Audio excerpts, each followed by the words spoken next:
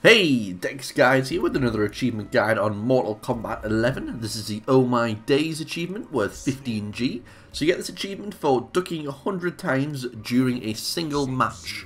So what I want you to do is go onto a quick play match and choose anybody you like versus anybody you like.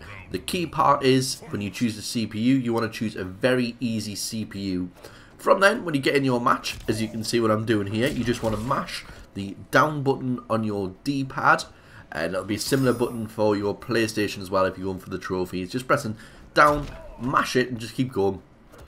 The achievement will pop in-game so you'll know when you have it but it should be quite easy to do. You're not going to get attacked that much by him, by your opponent should I say. So just keep mashing that down button and eventually, which it should be in a couple of seconds time, the achievement should pop up on your screen for you and that's all you need to do nice and easy achievement. A couple of people have missed this one just because you're not going to accidentally stumble into this achievement.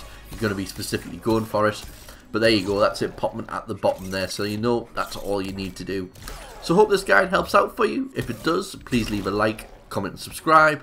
And I'll see you in the next video. Bye.